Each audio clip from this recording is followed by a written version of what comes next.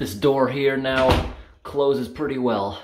Before, when it would shut, it did shut, but it would it was hitting the trim. And that's because the frame, I guess, was a little crooked, or that maybe it was just the door. You notice how these hinges here are flush, flush with the woodwork.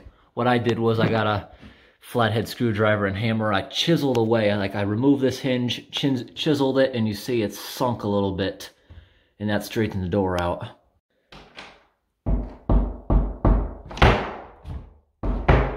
While I'm at it, I'm gonna fix this one too. The other one was only hitting in the top, but this one is hitting in the middle. Like the, the top and bottom have clearance, but the middle is touching.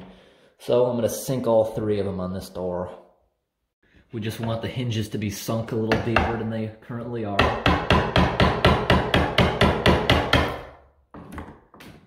Got a little more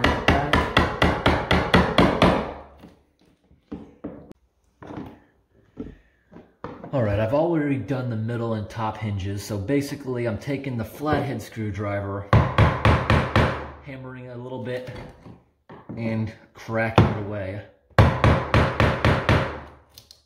Like that. See that big piece? I'm gonna keep chiseling away.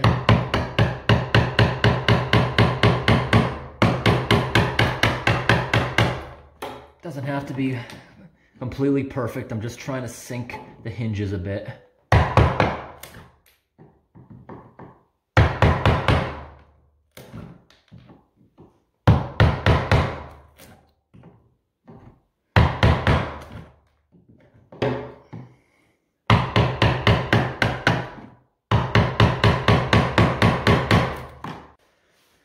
All right, about 10 minutes later, I got it pretty well. I keep the other hinges connected so I don't have to take the whole door off. Now you see I put it back in and now that's where it was. Now I gotta sink the hinge first. Gotta make sure the door's open. There, back into the hole. And it doesn't look that bad. It's just sunk a, like twice as deep as it was.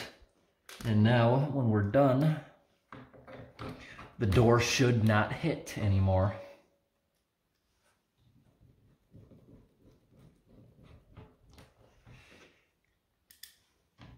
I don't think these screws are long enough for this.